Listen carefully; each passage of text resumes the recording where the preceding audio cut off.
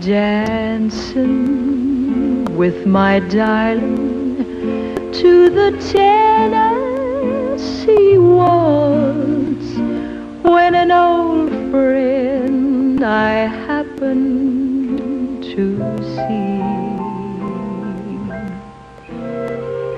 introduced her to my loved one. And while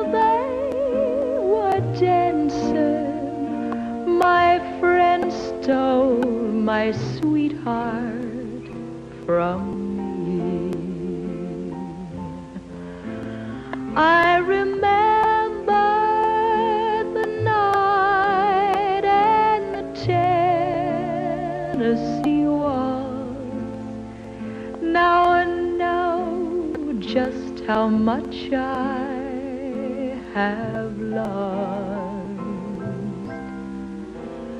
Yes, I lost my little darling the night they were playing the beautiful Tennessee